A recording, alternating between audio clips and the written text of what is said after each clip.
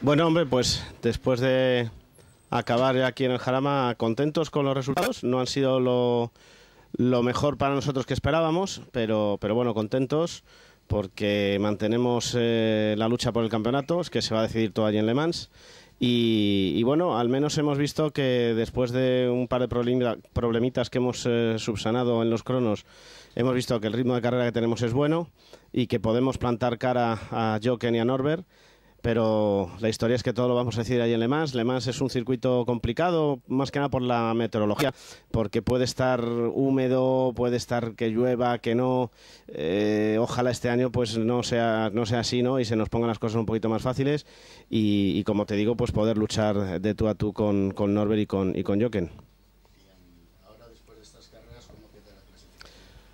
Bueno, ahora después de aquí de, este fin de semana de Jarama, la clasificación pues eh, queda con Norbert Kish primero, yo estoy a seis puntos de Norbert y Joken está tercero a un punto mío, o sea que sigue más apretado que antes, pero han cambiado las posiciones de cabeza, así que nada, tendremos que, que luchar allí en Le Mans.